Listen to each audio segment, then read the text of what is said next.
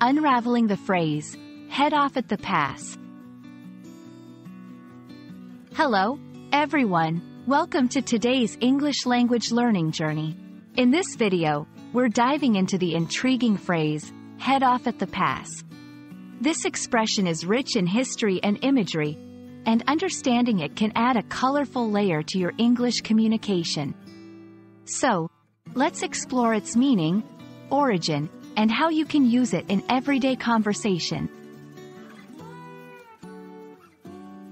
The phrase, head off at the pass, is used to describe the action of stopping someone or something from progressing or reaching a goal, by intercepting them early on, especially before they can complete their intended action. It's about taking proactive measures to prevent a potentially undesirable outcome. This expression has its roots in the Old West of the United States.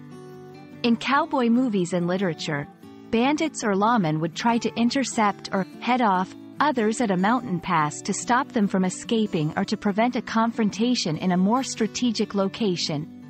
The pass, in this context refers to a narrow passage in the mountains.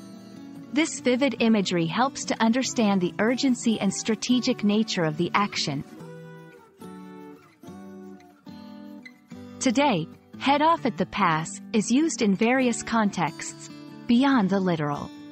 For example, in business, a manager might try to head off a conflict between team members at the pass by addressing tensions early. In personal life, you might head off misunderstandings with clear communication before they escalate. It's a versatile phrase that adds a layer of strategy and proactivity to your language.